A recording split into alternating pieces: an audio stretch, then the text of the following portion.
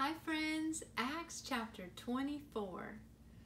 Five days later, Ananias the high priest arrived with some of the Jewish elders and the lawyer Tertullus to present their case against Paul to the governor.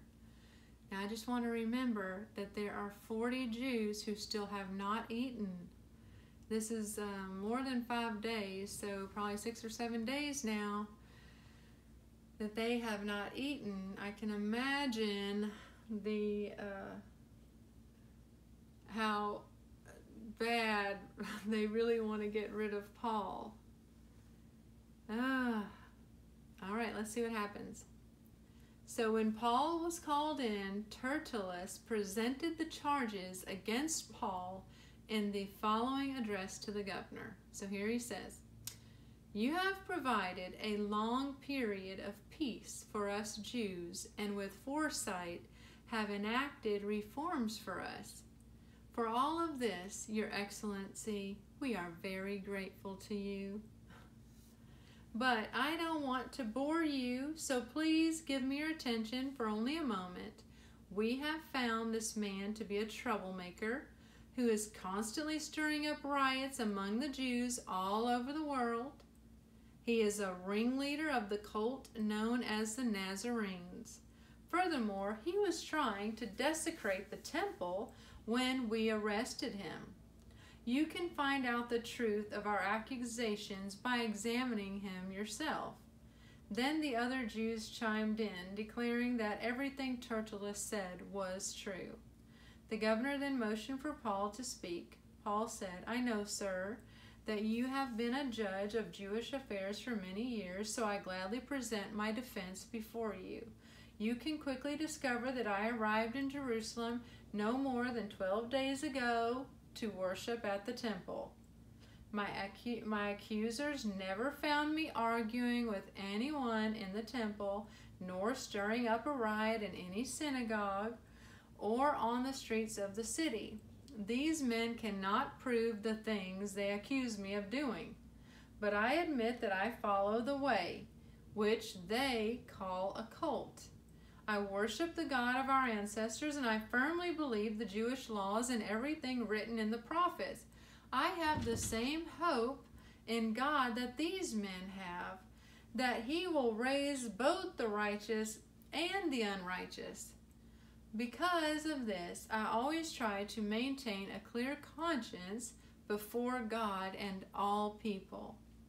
After several year, year, years, excuse me, after several years away, I returned to Jerusalem with money to aid my people and to offer sacrifices to God. My accusers saw me in the temple as I was com- completing a purification ceremony there was no crowd around me and no rioting. But some Jews from the province of Asia were there, and they ought to be here to bring charges if they have anything against me. Ask these men here what crime the Jewish High Council found me guilty of, except for the one time I shouted out, I am on trial before you today because I believe in the resurrection of the dead. At that point, Felix was quite familiar with the way, adjourned the hearing, and said, Wait until Lysias, the garrison commander, arrives, then I will decide the case. He ordered an officer to keep Paul in custody, but to give him some freedom and allow his friends to visit him and take care of his needs. A few days later, um, what about the Jews who were starving themselves? Felix came back with his wife Drusilla, who was Jewish. Sending for Paul, they listened as he told them about faith in Christ Jesus. As he reasoned with them about righteousness and self control and the coming day of judgment, Felix became frightened. Go away for now, he replied.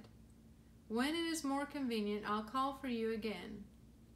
He was he also hoped that Paul would bribe him, so he sent for him quite often and talked with him. After two years went by in this way, Two years, friends. What do you think happened to those 40 Jewish people? After two years went by in this way, Felix was succeeded by Porcius Festus, and because Felix wanted to gain favor with the Jewish people, he left Paul in prison. Wow.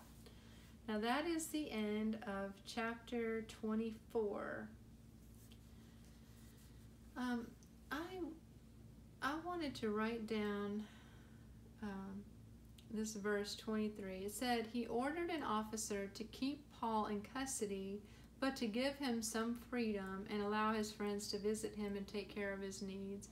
And I just want to point out how God is being so faithful to Paul um, and just providing for his needs all the way through.